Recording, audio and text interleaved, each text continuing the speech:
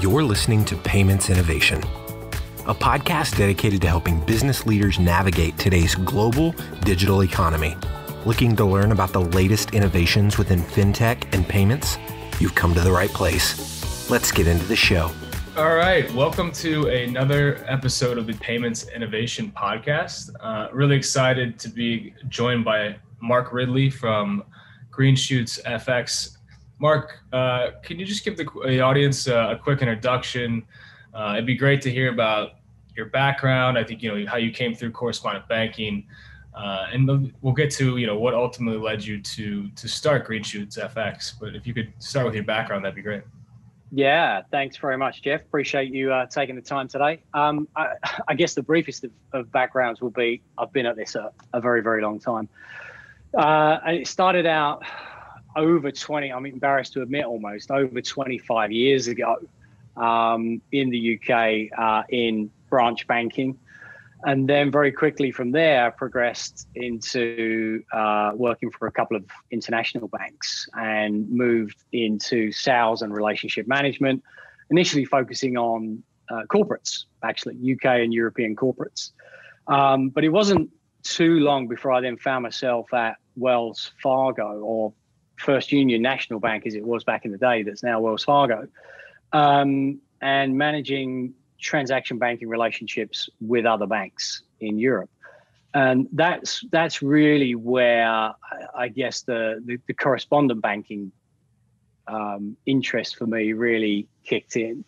Uh, the payments interest really kicked in a few years before when uh, when I was on the on the corporate side. But um, uh, it wasn't then too long before um, bouncing around from one institution to the next. And that wasn't really because I was career minded. It was more that other institutions kind of looked at what I was doing and said, hey, why don't you come across uh, and do this for us? But at the very core of, of the product set that we've always had at our disposal has been FX payments. And so we've gotten to know the various corridors and various banking arrangements and traditional correspondent banking methods very, very well over the, well, certainly over the last 20 years. And then five years ago, we decided, my, my family and I, my wife is actually from the States. And so we made that decision to, to move to the US. Um, and so I joined BNY Mellon, uh, where I was heading the uh, Treasury Services Sales and Relationship Management team for North America specifically focused on the on the bank segment again. And so for the last five years, we've we've probably met with, or I've probably met with, like two or three hundred financial institutions, um, banks and credit unions, large banks, community banks, um, and um, uh, yeah, we, that's kind of like how we've uh, how we've evolved over over uh, the last kind of quarter of a century. Yeah, so you have obviously you have a massive knowledge of the cross-border payments and FX world, um, which kind of led you, I think, to where you where you're at today for for starting Green Shoots FX. Could so what is it? What is the key um, goals or values of Green Shoots FX? You know, and, and, based on your knowledge, what led you to believe that there's an opportunity in this market um, for to start this business? Yeah, so we're we're one of several thousand institutions out there. Um, even if we put the banks and the credit unions to one side, what do we got in the states now? Like eight thousand or so um, of those, and then there's right? yeah, exactly right. And then there's tens of thousands almost of uh, of companies very similar to us. But um, so look, I guess we weren't put off by the fact that there is such a, a wide variety of competition out there. Um, one, of the analogies that was kind of told to me recently was look nobody nobody looked at the ford motor company and said okay look they've done it. Let's just not even bother trying to develop something any better than than that right? So you know we we just with the experience that we have in terms of calling on banks and getting a sense of and i'm going to be very careful how i say this but like just getting a sense that a number of institutions have frontline staff that know what they know, they manage relationships to a certain degree, but very rarely do they really want to engage themselves in foreign exchange conversations, right? So again, trying to be very careful because I know that's uh, that's not everybody, um, but generally people are just willing to do enough to satisfy their client need. We've always been about, or I certainly have always been about, my business partners have as well, wanting to go above and beyond. And so knowing how convoluted the process can be for banks moving money overseas, and also the pricing, the margins that are typically offered by some institutions being maybe a little bit more wide than we would like corporates to have. Um, we just felt like we could pull something together ourselves and um, and put that out there as a as a viable solution. But I'll also say that that was that that was very much a pipe dream for us over the course of many years. We'd been talking about this, and then just the you know the opportunity to do something about it presented itself earlier on this year. We said, okay, look, maybe now's the right time. And um, a number of individuals have even said to us, like, why now during a, a, a pandemic? Well, small businesses are hurting even medium-sized businesses are hurting. And so if we can provide uh, some advice and guidance to them such that they pay less for their foreign currency, meaning that they might save a couple of thousand bucks or tens of thousands of dollars, that could be the difference between not meeting their financial obligations when they fall due. It might help them prevent um, from having to furlough Bob in the warehouse, who's a key kind of component to their day-to-day business, right? So um, yeah, we just we just felt like now could be the actually the best time when people really do need to um, tighten the, the, the purse strings effectively. And there are many companies out there as well that that we know that we've met that we've even spoken to that don't know what they don't know, and so they kind of with the best will in the world blindly go about their business because one of the phrases which I hate the most is that's the way we've always done it.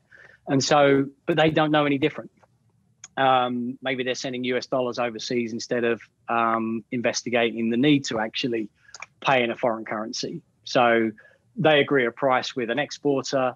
They're happy with that price. It's in US dollars. But through us, we know that we can help them drive down that that dollar value. So by being invoiced in in the local currency, for example, with the exporter. So there's there's that and i'm trying to be very careful as well because we don't want to give away too much of our secret sauce and you know what we're looking at and what we're trying to trying to do. But we're you know we're also keen to put out some thought leadership pieces as well to to to generate that awareness particularly for those like i say that don't know what they don't know to maybe read some of the things that we put out and say ah you know what? That's applicable to me. I get that. I understand that. Let me investigate more. Yeah yeah, so I guess based on your knowledge in going to these smaller FIs in, in your previous role at uh, Bank of New York Mellon, that's where you realized how underserved a lot of these, I guess, SMBs or SMEs in the U- in the U.S. Uh, are when it comes to the FX space.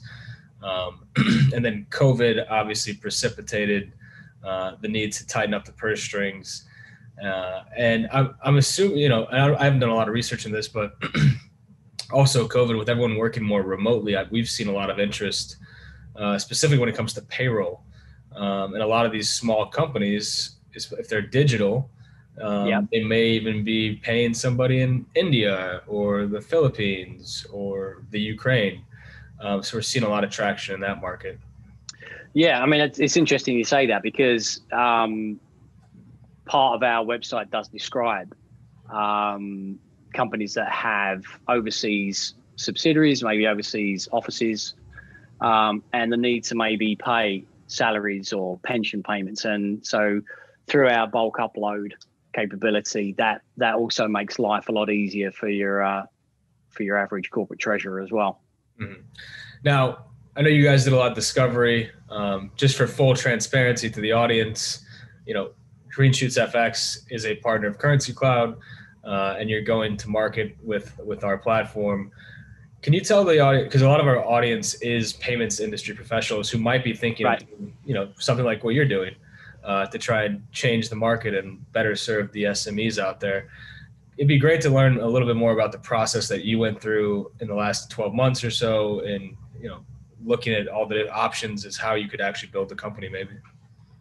Sure. Uh, well, I think it'd be fair to say that at the beginning uh, beginning of the journey, like we didn't know what we didn't know either. So um, it becomes a bit of a like anything, I guess, like a, a self fulfilling prophecy. And in the in the in the once you start peeling away uh, the layers of the information and you find yourself being introduced to others who introduce you to others, then your you know obviously your knowledge base is going to grow.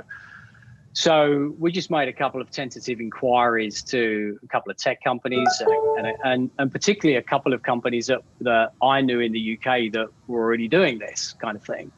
Um, and they then introduced me to some other companies that were doing something very similar and also to, to some fintech companies that could at least give us some guidance. So then when you start having those discussions and knowing what you know about the industry anyway, the, the questions that you ask um, in the due diligence process then very quickly uncovers who's really good at it and who's not very good at it. And then we found a couple of a couple of companies that that we really liked, um, but still felt like there must be more out there. And um, well, once we were turned on to Currency Cloud, um, the discussions became very apparent that sorry became very apparent during the discussions that you guys could satisfy the need that we had. Um, and, and there are there are definitely fintechs, let's say, out there that that can provide maybe some bells and whistles here, but were kind of falling short here, and some that were good in other areas but fell short elsewhere. With Currency Cloud, we I felt like, or we felt like, um, we could get our cake and eat it. So um, all, all of the individual components um, or all of the individual reasons why we buy any service, and particularly from from Currency Cloud, uh, could actually stand up on their own right. But then collectively, it just makes it a little bit more of a, a compelling and easier decision to to go with uh, with Currency Cloud. Quite frankly. Great, and as far as you know, obviously we, we're starting with uh, you know the serving these SMBs. Could you talk a little bit about your market research? Like, what do you what are you seeing out there as far as the rates that some of these SMBs are getting at their local banking partners? What's the, kind of the education process that you go through uh, when you're consulting with one of your potential clients? We know that there are companies out there that are in need of of uh, finer margins.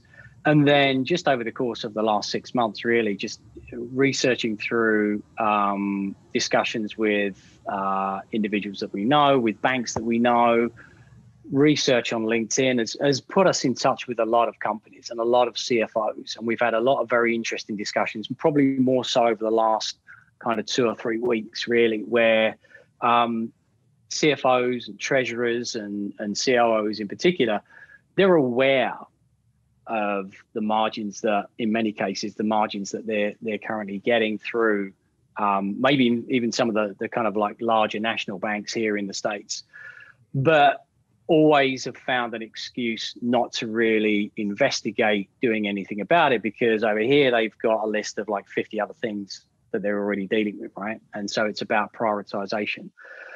So, um, but you know, we, we, we're trying to expedite a lot of those conversations to say, hey, you know, uh, let's try and move this foreign exchange piece to that that critical kind of list of 50 things and maybe even kind of move it up the pecking order. But but certainly through just through the conversations that we've had um, that have then yielded hey thanks for talking to us and thanks for helping us out. Could you also go talk to my sister company or to other companies that we know um, that are non-competitors and provide the same kind of valuable advice and help to them as well. So mm-hmm. again, this is really kind of like starting to to gather momentum um, in a very very short space of time. So before we know it, we'll probably be looking at having to expand the team more quickly than we than we had anticipated, which was probably going to be more of a 2021 initiative, but it's probably going to be more of a, uh, a kind of a December kickoff for us.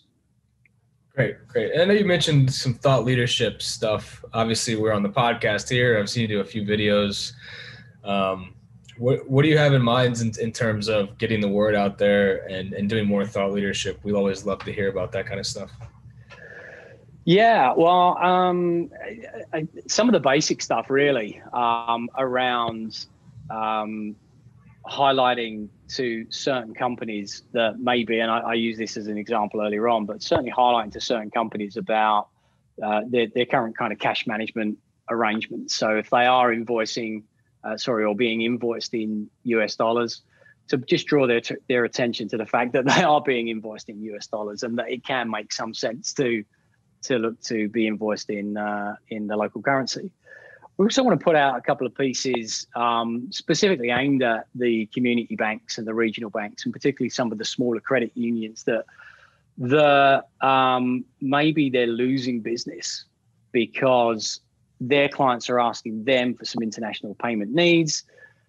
They can't be met, and so the client has to go find that elsewhere, and then runs the risk of having um, that client move all of their business to the larger provider because in many cases the larger provider is going to have a minimum revenue requirement that's probably not going to be met by one or two payments mm-hmm. and so uh, so the corporate's going to be in many cases potentially forced to move their business right so we want to help community banks regional banks credit unions of, of any size really retain their clients. So we've got some ideas that that we that we're going to put out that can uh, that can help support that um, initiative.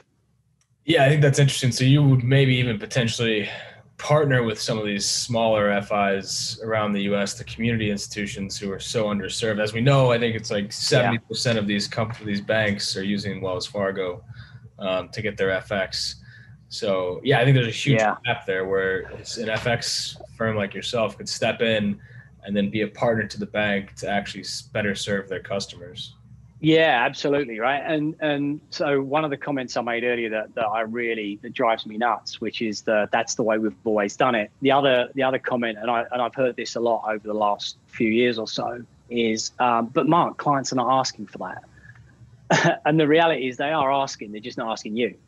Mm. So the with the best will in the world, um, it, it, it is it, it's tough to kind of monitor that and manage that within the regional institution? Because often that question might be asked of a frontline um, employee, could be a uh, could be a bank teller, could be the relationship manager, and the, and and that's where the buck stops, and that's it. And the conversation ends there. Rather than the RM then maybe taking that to the relevant person internally within the organization. That's the person that I'm usually connecting with.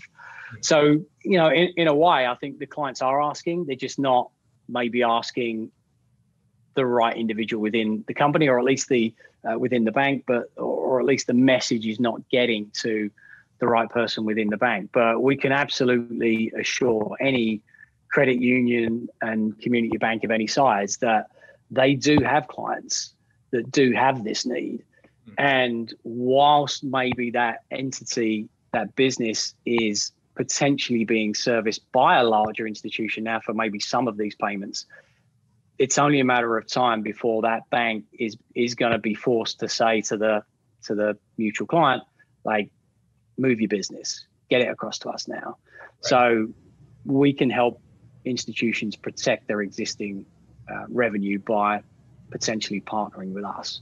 And we've, we've, we've already got a couple of good conversations underway, actually. Um, and I'm going to look to my right here, which is my whiteboard of to do list, which has actually now gone beyond the whiteboard and is now on the walls. Um, we're, we're, that that's going to be a big push for us. That's going to be a big push push for us. But just even over the last week since we've launched and since we've started putting some pieces out there, Mm-hmm. We've already had some proactive um, uh, correspondence with uh, some smaller banks and, and credit unions uh, across the US already. So uh, it, the proof is definitely in the pudding, um, but we know there's a market for what we can offer. Yeah, I think that's that's a huge market in the U.S. Um, so that'd be, and I think a lot of the FIs are starved for that. But like you said, it's a lot. Half the time they say it's not a problem, but I hope I think that's changing. Um, where yeah. they start seeing it as more of a problem. Yeah, hundred percent agree. Hundred percent agree. Now, obviously, you're starting with payments and FX to to power to these SMBs. Is there, you know, we, do you have any plans of developing further beyond um, the solution that you have today in terms of maybe offering, you know, small business customers more of a even some lending services or uh, potentially debit card? Have you thought of any of that, or what's your idea? I guess. Yeah, I mean, I, I think the the danger is that we we don't necessarily want to try and be all things to all people. We want to try and be niche in what what we can offer. But at the same time, if you have the attention and you, and you have the audience of a of a CFO or a treasurer or a finance person, they're going to have more than one problem that's going to require solving. So if we can at least have in our toolbox um, either additional products and services that we can offer, or at least where we've investigated partner services that we could refer them to, then we think that we can have a more kind of like holistic supply chain value proposition. So yeah, look, we, you know, we're, we're definitely investigating what what merchant services companies are out there. Um, I like the idea of uh, accounts payable solutions. So, um, like converting checks to virtual cards, for example. There's a there's a num- number of very good companies out there, but we don't just want to refer clients to them just because they might think that we're getting a referral fee. We're only interested in referring where we've done our due diligence and we're referring to a quality institution that's going to support the business of, of, of our client. Trade services is also another as well. Trade has, has been part of my um, part of my arsenal also for about 20 something years. So if we can figure out what we can offer in and around the trade space, I think that um, with what I've just mentioned will will provide a nice bag of of tricks, if you will, that will satisfy most of the kind of current climate issues that, that companies are facing today. Yeah, yeah, it'd be it'd be interesting to build that kind of network and ecosystem where you can obviously you're going to focus on the FX and the payment side of things. Sure. And managing that risk um, and ensuring that they're not getting hosed on these fees. Uh, but yeah, there's you could e- easily bring in a, a, third party to help with some kind of cash advance. There's a lot of you know the merchant cash advance uh, platforms are really kind of expanding right. rapidly. I think that's a really interesting market.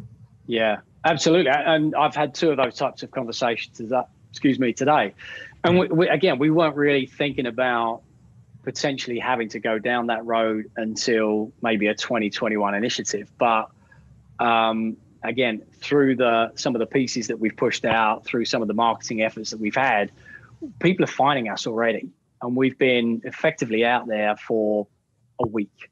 And so, like, we're we're really kind of surprised about the attention that we're getting, and it's it's been a little bit overwhelming. So uh, every now and again, I've kind of just got to sit here and just kind of take take stock, take take a breath, um, and and prioritize like what do we want to do and when do we want to do it? Um, you know, and and that's changed half a dozen uh, half a dozen times or so over the course of the last six months, and then easily 15 to 20 times just in the last week alone. So I'm trying to ignore that whiteboard that's out the corner of my eye because it is just getting out of control. Yeah, one thing at a time, right? Well, listen, Mark. Uh, yeah. Um, we're just, we're really excited, and it's awesome to see all the the success that you guys have had and kind of the traction you're gaining in the market. Um, and we're happy to be a part of your success, and, and hopefully we'll continue to do that for a long time. For everyone who's listening, what is the best place to to get in touch? The website. Yeah, look, you can get get in touch with us through uh, greenshootfx.com um, or you can get in touch with me directly at mark.ridley at greenshootsfx.com.